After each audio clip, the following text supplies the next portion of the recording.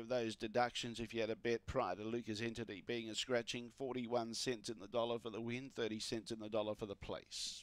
Green light on no more bets. Here's race 10 at Gawler heavily back box 2 come on Lena set away. Began okay. There's pressure on its outside, though. It's in a bit of trouble. Wanted to shift up the track. Goes back the last. Dream Ilalangi out in front, the roughie of the field. Calais Peruzzi's chasing out after it. Then Long Gully Jane. And they've done their dough with Come On Lena. About 10 lengths from the leader. But in the meantime, going strong is Dream Ilalangi. Trying hard, Calais Peruzzi. But Dream Ilalangi takes it out. Beats Calais Peruzzi. Oh, come on, Lena. A massive thing beat. Made up very good ground to get into third placing. And Long Gully Jane at the tail end of the field. The favourite just did not handle the inside draw. 23.20 was the time. 23.20. Four beats seven. The roughie of the field.